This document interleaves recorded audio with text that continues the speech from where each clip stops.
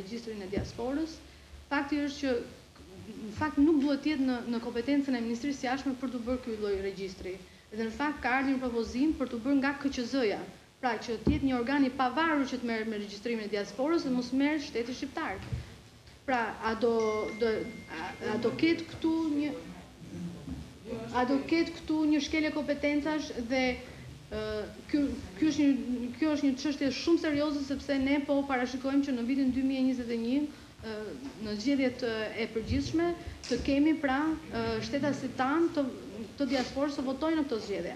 Pra nëse shteti shqiptar bën regjistrimin e diasporës atëherë do ishte një lloj manipulimi që mund t'i bëheshe këtij adresari edhe mund të bëheshe një një një një shkelje këtu, prandaj është parashikuar që ky kjo kompetencë t'i jepet pikërisht KQZ-së dhe mos të merret shteti pra me regjistrimin e diasporës.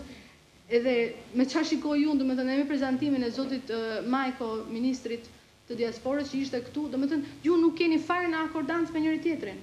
Jeni komplet jashtë realitetit, domethënë nuk e kam parë kurrë Ministrinë e Jashtme të menaxhohet në këtë lloj mënyre, jeni komplet jashtë realitetit, nuk dini se çfarë po bëni.